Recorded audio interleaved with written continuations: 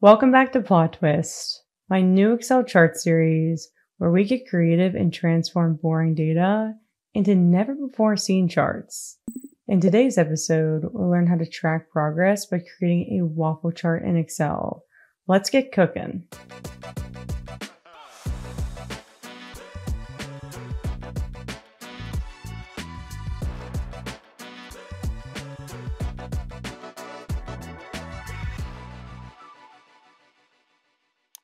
A waffle chart is similar to a pie or donut chart, but instead of a circle, it's a square grid where each cell corresponds to 1%. The colored cells represent the percent of the target that was met, with 100% being the goal. For example, here we have our service level KPI score, and we want to visualize how close we are to hitting our target of 100% using a waffle chart. To create a waffle chart, we're actually going to use a stacked column chart, but first things first, we need to set up our data. We need to create a data table that contains 10 rows and columns with one in every cell where the target was met. The first cell in our table corresponds to the first cell in our waffle chart, and each one represents a colored cell. So for example, here we achieved a service level score of 87%, so we would need 87 ones in our data table starting in the first column. To do this, first we need to convert the percentage into a whole number by multiplying the percent by 100. If you're working with decimal values, you will want to round this value to the nearest whole number, by wrapping this formula in the round function and setting the num digits argument to zero. Next, we need to write a formula that converts this number into 87 ones that fills throughout our data table. To do this, first I'm going to use the REPT function to repeat a 1 87 times by entering the REPT function, entering a 1 in double quotes as the text argument, and then selecting cell D3 as the number times argument. As you can see, this returned 87 ones in cell F3, but we need each of these ones in their own cell. To split this value into individual cells, I'm going to wrap this formula in the TEXTSPLIT function, enter a space after the one inside the REPT function so that we have a delimiter to split the value at, and then enter a space as the row delimiter argument to start a new row at every space. Now that each one is in its own cell down column F, all we have to do is wrap this array into 10 columns by wrapping this formula inside the WRAPCOLS function and entering a 10 as the wrap count argument.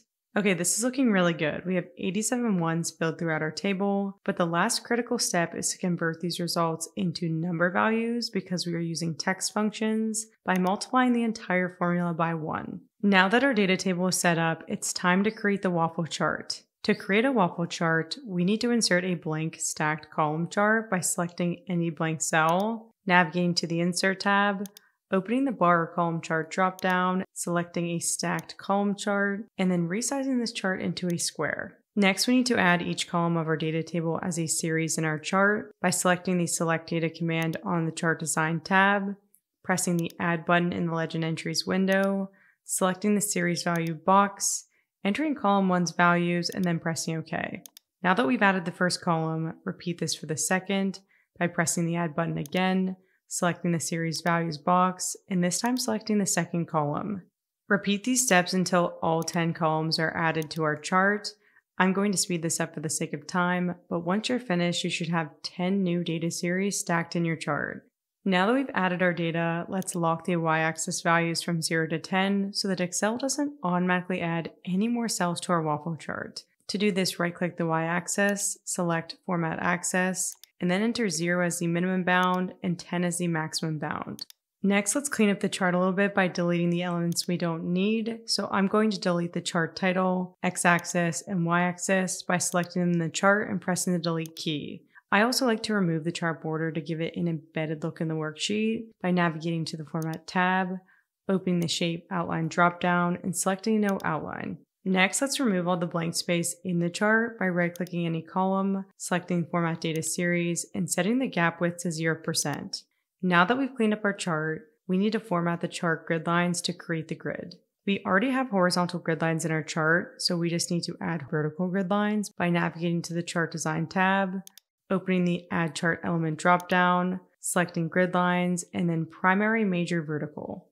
Next, let's make the grid lines stand out a little bit more by selecting them in the chart, opening the Fill in Line menu, setting the color to black using the Color dropdown, and increasing the width to one point. Repeat this for the other grid lines by selecting them, setting the color to black, and increasing the width to one point.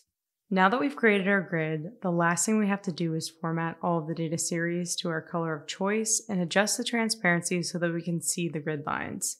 Before we do this, we need to update the service level percentage score to 100% temporarily so that all 10 data series are visible in the chart. Once all data series are visible, select the first data series in the chart, update the color using the color drop down under the fill menu, and set the transparency to 50%. Repeat this for the second series by selecting it in the chart and updating the color and transparency to match. Continue this process until all 10 data series match. Once again, I'm going to speed this up for the sake of time, but once you're finished, update the score back to 87% and our waffle chart is officially complete. The best part about this chart is that it's completely dynamic and will automatically update if the service level score changes. I think waffle charts might be the new pie chart. What do you think? As always, if you enjoyed this video, make sure to subscribe to our YouTube channel and turn on notifications so you don't miss the next episode of Plot Twist.